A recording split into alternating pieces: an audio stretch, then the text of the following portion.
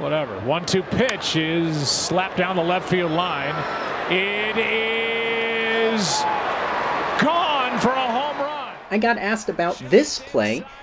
DJ Reyburn initially calls Heyward's shot to left field a home run. Eventually, it's going to become a foul ball. The question is, how did it get there? Did the umpires do everything right? Did they do something wrong? What happened? Well, I have answers. That needs to be reviewed. Very first thing to notice look at the blue box. The umpires, initially after the call, are already getting together because there is going to be a discussion. The question is, are the umpires even allowed to do that? Because it's going to replay anyway. By Jason Heyward. So the very first thing, if you've been with us for a while, we covered this in 2017 and in 2018, crew consultation and getting the call right. I will reference the umpire manual entry on that very momentarily, but it's of tantamount importance to get settled before going to replay because that will determine what a call stands outcome will be.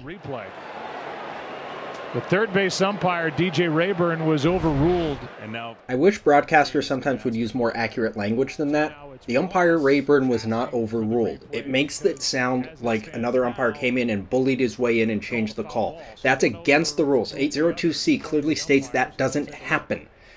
Per the manual, the ultimate decision to change a call rests with the umpire that made the call. What you're allowed to do in specific situations, this is one of them, you can go to your partners for help and based on their input, you can decide to change your own call. One of the plays that is subject to this, deciding whether a fly ball that left the playing field was fair or foul. Just exactly what happened here.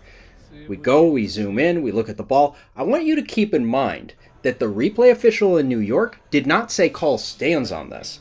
They confirmed it, which means they saw conclusive video evidence that the ball indeed, conclusively, clear and convincing, was foul.